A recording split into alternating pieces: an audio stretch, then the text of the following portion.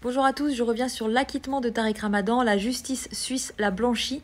Tariq Ramadan est innocent. Il le disait depuis des années. Aujourd'hui, la justice le pose. Il n'y a aucun élément de preuve qui permet de dire que Tariq Ramadan est coupable de quoi que ce soit. Au contraire, il y a des éléments de preuve qui disent que la plaignante a menti.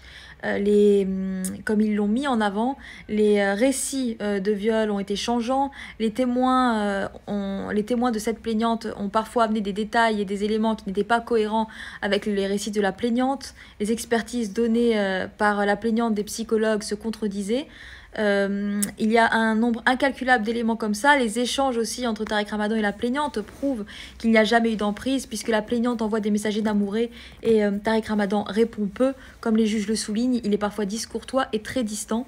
Tous ces éléments-là sont très importants parce que ça balaye toutes les hypothèses psychologiques que la partie civile avait tenté, avait tenté d'amener et donc une certaine presse, certains journalistes qui disent que Tariq Ramadan a été acquitté pour manque de preuves, euh, on, est, finalement dans quelque chose de complètement euh, faux.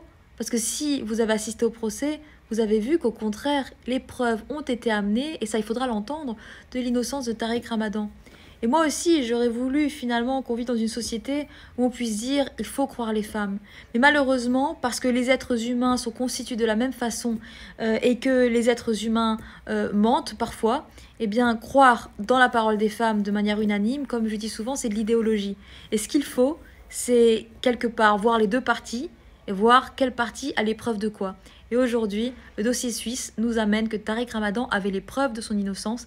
Il le disait depuis 5 ans. Et aujourd'hui, on peut le dire, la justice suisse le pose euh, de façon très claire et officielle. Tariq Ramadan est innocent.